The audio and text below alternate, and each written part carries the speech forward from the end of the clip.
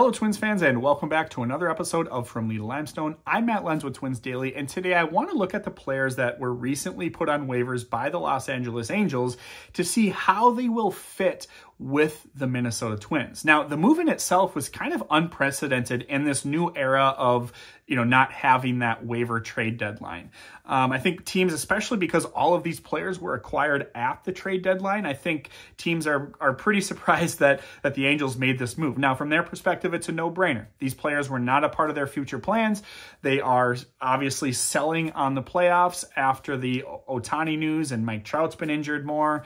Um, and so no-brainer to save some money and to open up some at-bats and innings for some of their prospects. But also it, it provides kind of an interesting dynamic for the rest of baseball. As Jeff Passan says in this tweet, um, the way that this will work is that teams with the worst record that make a claim will get the player that they claim. And so, it, you know, for the most part, of course, this doesn't work perfectly, but for the most part, wildcard contenders are going to have an op the first opportunity to add these players followed by you know second place teams in their division and then followed by first place teams. Now again that doesn't work out perfectly. Let's use the AL Central as an example. There are multiple wildcard teams that have better records than the Minnesota Twins. So while the Minnesota Twins aren't at the bottom of the list they actually find themselves in a pretty good position here to be able to claim one of these guys, if not maybe more. I doubt that will happen, but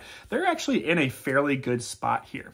So let's look at the play, players themselves. Starting with the, the only starter, Lucas Giolito, of course, with the White Sox, has had a really up and down career, has been pretty kind of just blah over the last few seasons. Could he improve our rotation? I guess. Is that a high priority ad for me? No. So let's move on. Then let's look at the relievers. Matt Moore and Reynaldo Lopez. Moore is a lefty. Lopez is a righty. Uh, Moore Moore is my preferred option here if they go the route of a reliever. He has really good strikeout and walk rates. Uh, his his peripherals suggest maybe a little bit of negative regression. You know, his xERA or his xFIP kind of suggest a little bit of negative regression there. But otherwise, he's been very solid this year and has actually performed well in high leverage. Not that the Twins necessarily need him in, in high leverage, but obviously that's just something that is a little bit more comforting uh, when a player is uh, or can perform in those situations. Uh, and then Reynaldo Lopez, uh, you know, kind of the bigger name of the two, but also the bigger wild card. He has a high strikeout rate, which is great, but he also has a very high walk rate, which is where that wild card aspect comes in.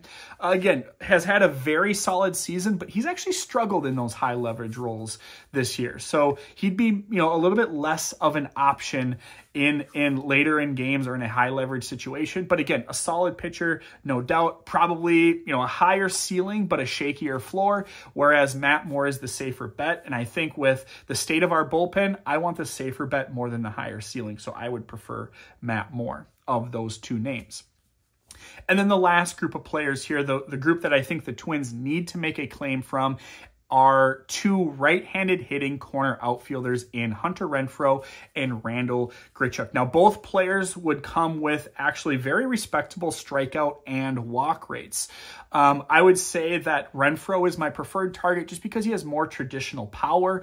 Uh, over the last you know, two plus seasons, he has uh, gotten almost 80 home runs, whereas Grichuk is is somewhere in the high 50s, low 60s. So again, Renfroe just has that more traditional power, which I think is more of the organizational philosophy. So I would really love to see the Twins add Hunter Renfroe. Randall Grichuk was a trade deadline target for me I, I wouldn't hate seeing him, but at the time Renfroe wasn't available and now he is. So that would be my my preferred option of the two. Theoretically, both can play center field in a big, big pinch. I don't think either has played there since 2019, so it's been a while.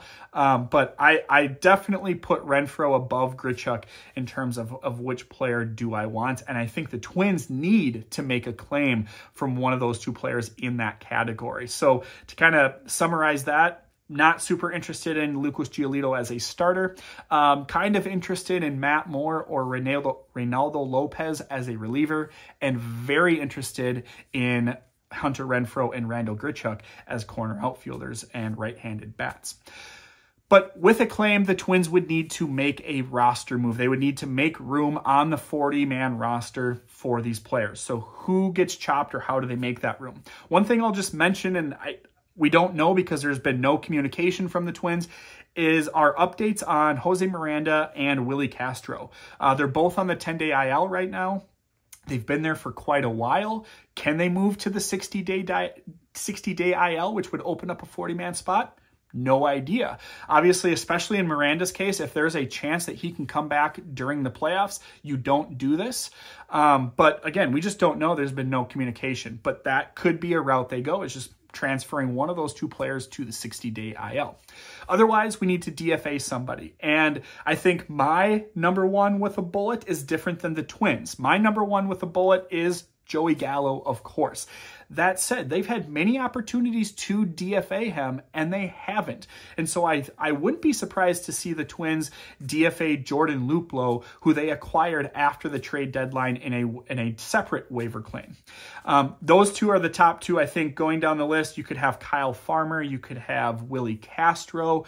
Um, you know, even more or less likely would be Dallas Keuchel, uh, Jovani Moran, Josh Winder, you know, names like that. But um, I think Gallo and Luplow are definitely like the clear top two candidates that will that are, are DFA candidates if the Twins were to acquire one of the uh, former Angels players that we just talked about. Again, Farmer and Castro aren't very far behind that list either, but they're technically a second tier for me.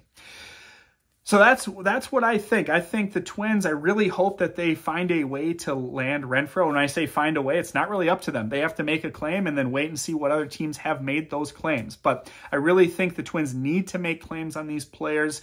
Uh, it's only going to make them better and improve the roster, so it's a no-brainer for me. What are your thoughts on these players? Is there one player in particular you'd rather see? Are you more interested in Giolito than me? Let me know in the comments. Let me know on Twitter at Lenzy2108 and let me know on YouTube. Musings from Twins Territory.